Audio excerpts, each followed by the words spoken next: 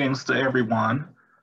Uh, my name is Matthew Quest, and um, I've taught at various colleges, most recently at the University of Arkansas at Little Rock, where I teach history and Africana studies. And I'm a scholar of the legacies of C.L.R. James, and particularly his ideas on direct democracy, and how those ideas filtered down to the Caribbean New Left, particular Cecil and Lloyd's generation, um, and the many different groupings in the archive of the Caribbean radical tradition, their political thought that has been neglected pointing in this direction. Um, today, when I say I'm going to speak about the historical failure of anti-imperialism, obviously I want to stir critical thinking and I want to talk a little bit about the recent challenges in Barbuda um, in light of the, the post-colonial independence condition in the Caribbean and then raise certain questions for our audience. Um, most people, I think, understand that around 2017, there was Hurricane Irma, and Hurricane Irma uh, caused a lot of trouble in the Caribbean, particularly in Puerto Rico but also in Barbuda. And Barbuda is a smaller, well, they're both small territories. Barbuda and Antigua are a federated country in the Eastern Caribbean. Antigua is um, at this time about 100,000 people. And Barbuda before the hurricane was about 2,000 people. And they're struggling to get back to 2,000 people in the islands of Barbuda. So whether we feel uncomfortable calling Barbuda some kind of nation, obviously it's hard at 2000, but we can look at some of the ideas of the, you know, the small territory that has tremendous capacities and the city-state model that has often been used to talk about Caribbean possibilities. And what has happened in Barbuda is following um, aid to try to uh, deal with the refugee problem after the Great Storm, there has been a general attack on the Barbuda people from the Antigua Prime Minister and the cultural apparatus around, uh, around Mr. Prime Minister Gaston Browne. And what has happened is the Barbuda people have had a history of communal land tenure that goes back to uh, post, post-slavery times. And the government has tried to discredit this tradition of communal land tenure. And this tradition of communal land tenure is not um, a modern communism. It is something closer to what in other territories in the Caribbean we've called, uh, sometimes it's called Susu or Lenhan, where there's a a collect a cooperative uh, spirit in both um, distributing land and making sure that everyone has access to land for a homestead that they don't have to pay for. They of course have to build their homes, some taxation. But in any event, there has been a move by, if you wish to call it this, the neoliberal Browne government to enclose the commons on Barbuda, to create new laws that basically contain the people in Barbuda so they cannot use the land to farm and fish as they please. There have been attacks on the Barbuda fisheries industry. And um, there has been an attempt to make international development agreements with people who want to build all-inclusive hotels on the other side of the island and allocate land to them without the Barbuda Council's consent. There's been an attempt to build an airport um, without the consent, and that has disrupted the, fa the fauna and flora and the ecology on the islands. I could go on, And people, I have written some things about it. Um, the, I think one of the best writers about it is the former uh, early editor of the outlet publication out of, you know, Tim Hector's Antigua Caribbean Liberation Movement, Alvet Ellerton Jeffords, sometimes known as Jeff, sometimes known as Ellerton. He has been the one consistently writing and recording about what's going on there from a critical perspective. Um, the issue at hand is that we have people in the Antiguan government, from the prime minister to his advisors. The prime minister is a transparent capitalist who has manipulated the local laws to become wealthy off real estate and banking and put that wealth in his personal hands. At the same time, he has people around him talking variations of socialism, African nationalism, reparations, uh, connecting him up with CARICOM. And it's clear that every pan-Caribbean, pan-African socialist sentiment is hostile to the toiling people of Barbuda. Okay? Now, do I think that's unique to the Antigua and Barbuda situation? No, not in observing Trinidad or Guyana or Jamaica.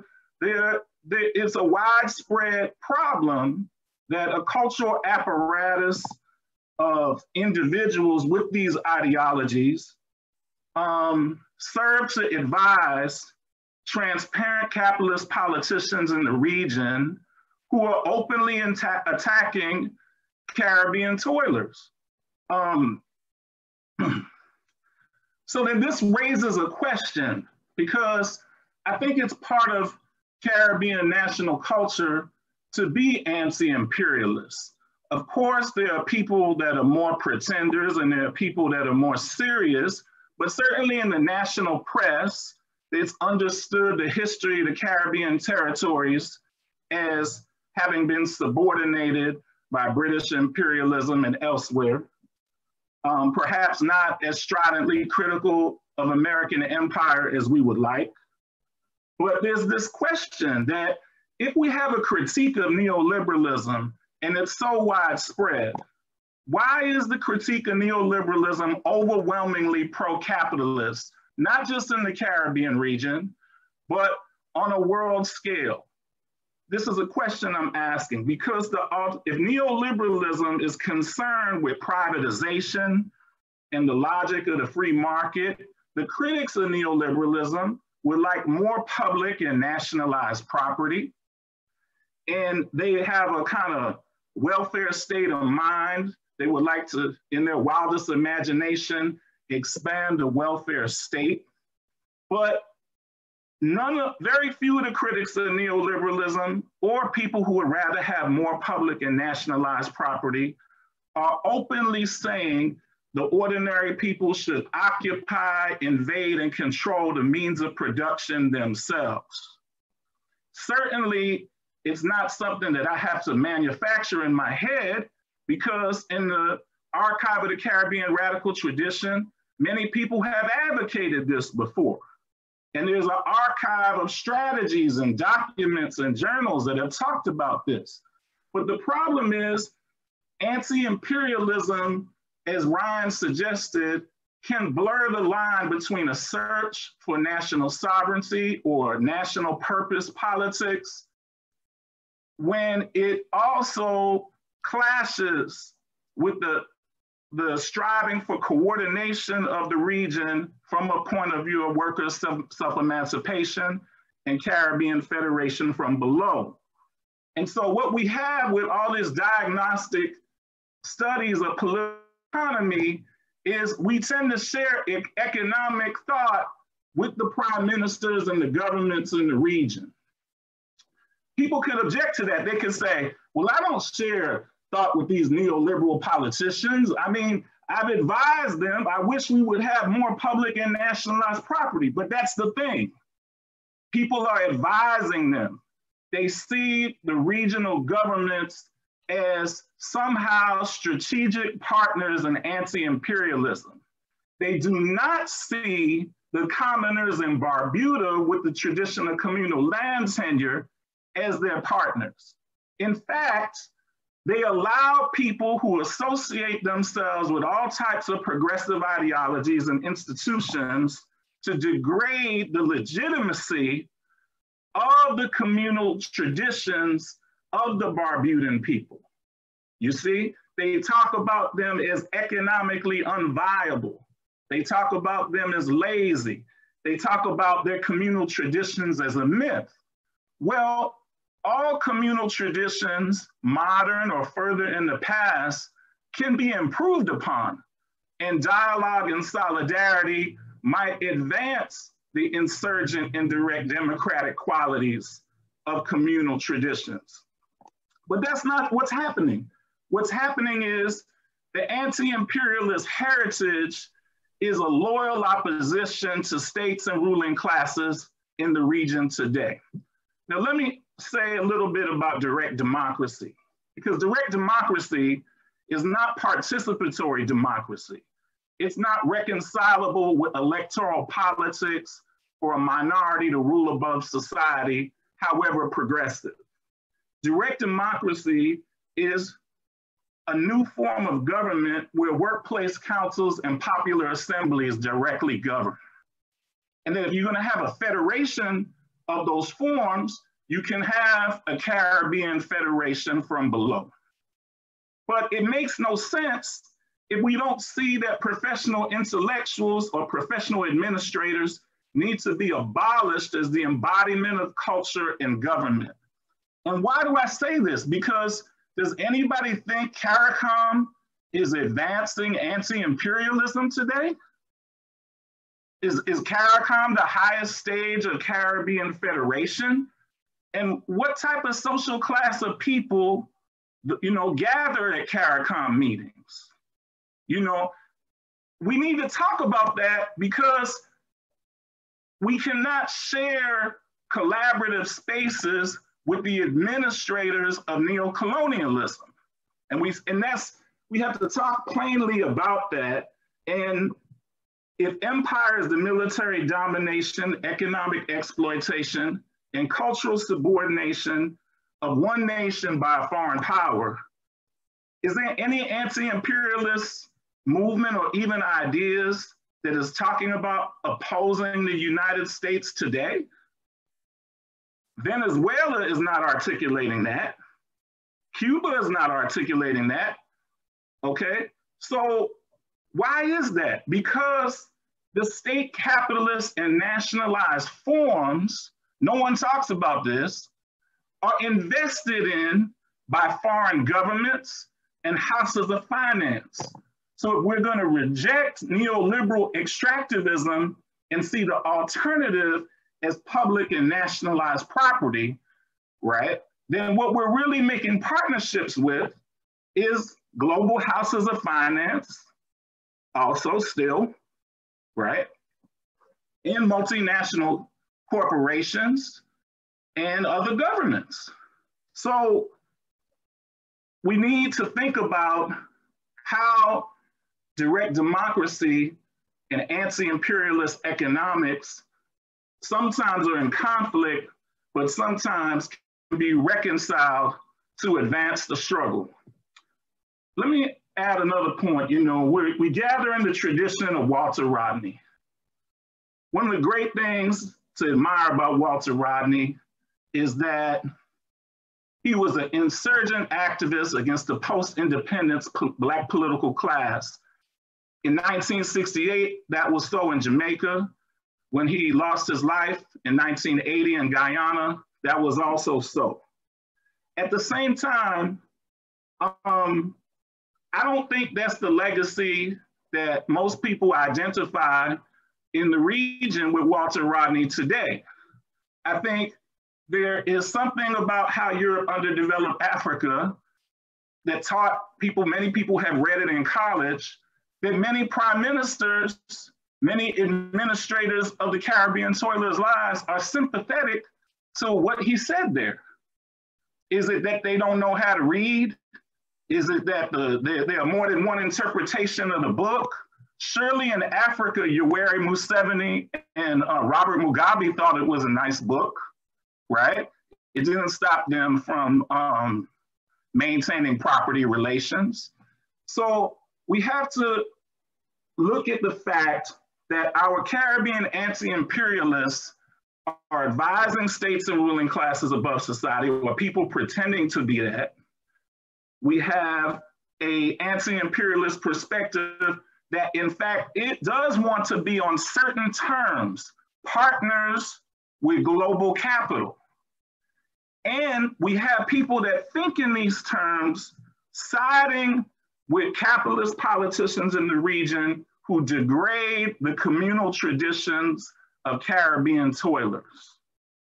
Okay, so those conflicting tendencies are right before us, and I think we need to address them. You know, one of the connections between the Antigua situation, Antigua and Barbuda and Guyana, but perhaps in other territories in Trinidad and Jamaica as well, is every time young people look for the radical tradition in the country that points to direct democracy, the kind of perspective that used to question what people used to call doctor politics or one manism, that tradition has evaporated or disappeared.